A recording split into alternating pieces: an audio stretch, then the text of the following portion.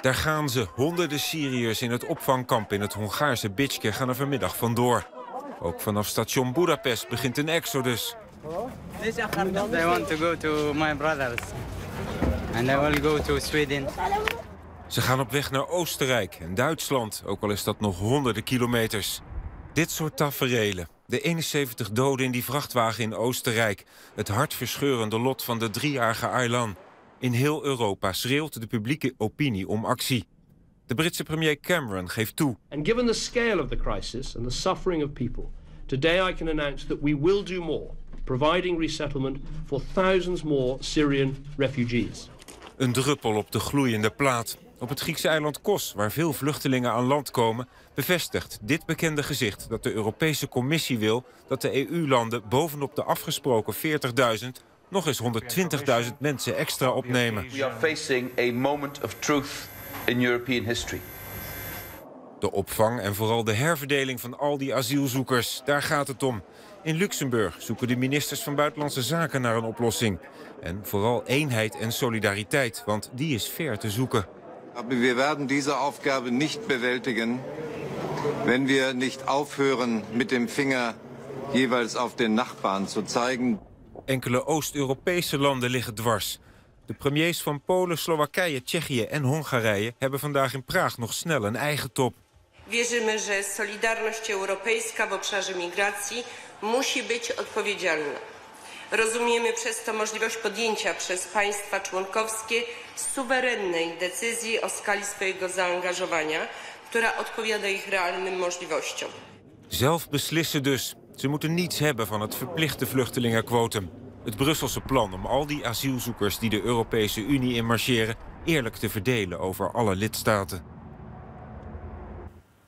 De verdeling van asielzoekers in de Europese Unie is nu nog erg ongelijk. Nu krijgen vijf van de 28 EU-landen 80% van de asielaanvragen. Het gaat om Duitsland, Hongarije, Italië, Frankrijk en Zweden. En van die landen staat Duitsland met stip op één. Met maar liefst 40% van het totale aantal asielaanvragen. Bij de landen die in verhouding heel weinig asielzoekers opnemen... zitten onder meer Oost-Europese landen als Tsjechië, Slowakije en Polen. En het zijn juist deze Oost-Europese landen die zich dus verzetten tegen het plan om 160.000 asielzoekers te verdelen over de hele Europese Unie. Duitsland heeft veel ervaring met vluchtelingen en migranten. Voor Oost-Europa geldt dat veel minder. De nieuwe lidstaten zijn weinig immigratie van buiten Europa gewend. En dat terwijl de toestroom historisch groot is. Bulgarije en Hongarije bouwen hoge hekken. En Macedonië heeft de grens in het verleden meermaals tijdelijk gesloten. En waarom ook niet, zeggen de Oost-Europeanen. De meeste mensen willen liefst meteen door naar Duitsland. De eis van de Europese Unie om asielzoekers eerlijk over Europa te verdelen... wordt dan ook als onredelijk beschouwd. Waar het gaat om de opvang van asielzoekers... is er een grote kloof in Europa tussen Oost en West. Jeroen Akkermans. Gaan we door naar Jos Heijmans in Luxemburg... waar vandaag die vergadering was van de ministers van Buitenlandse Zaken. Ja, Jos, dat wordt dus nog eh, lastig hè, om die Oost-Europese eh, landen mee te krijgen. Kunnen ze niet eh, gewoon gedwongen worden? Ja, dat is zeker lastig, omdat die uh, vier Oost-Europese landen vandaag hun hakken nog dieper in het zand hebben gezet. En uh, ja, ze zouden overroeld kunnen worden door de rest, want er is geen unanimiteit nodig. Uh, maar dat is een weg die Europa eigenlijk niet wil bewandelen... omdat de verdeeldheid dan nog pijnlijker duidelijk wordt in het zoeken naar oplossingen voor dit vraagstuk... Uh, probeert men toch te streven naar uh, unanimiteit. En dat kan bijvoorbeeld heel ordinair... door die dwarsliggers af te kopen met geld. Oké, Jos, en, en waar zet Nederland op in? Zijn wij bereid om meer te doen?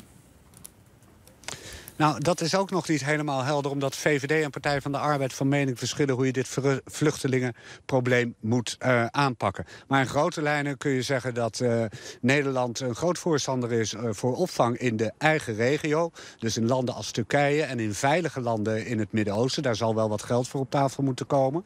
Maar dat betekent ook dat er nog altijd vluchtelingen zijn... die naar Europa komen. Nederland wil die best ook voor een deel opvangen... op voorwaarde dat ook alle andere landen meedoen. En dat is allemaal nog heel erg lastig. Luister maar even naar minister Koenders. Maar die oplossing is natuurlijk echt ingewikkeld en dan moet je alle landen mee hebben. U ziet ook dat daar verschillen tussen zijn. Maar Europa moet zich wel schamen als we er niet uitkomen. Het is wel een test voor Europa. Ik vind daarom dat we ook keihard werken hier, ook Nederland, met gelijkgezinde landen, om daar zo snel mogelijk uh, uh, resultaten voor te krijgen voor de mensen daar in Hongarije, uh, in Oostenrijk. Want ja, het gaat ook om Europese normen en waarden, om menselijkheid en om effectiviteit. Het is niet alleen emotie, het is emotie en actie en effectiviteit. En dat is ingewikkeld, maar dat gaan we wel doen. Ja, en op alle niveaus in Europa wordt nu overlegd om uh, toch te zoeken naar een uh, gezamenlijke oplossing. En dat zal zeker nog wel enige tijd duren voordat de regeringsleiders naar Brussel kunnen komen om dan uiteindelijk definitief een knoop door te hakken. Jos Heijmans vanuit Luxemburg, dankjewel.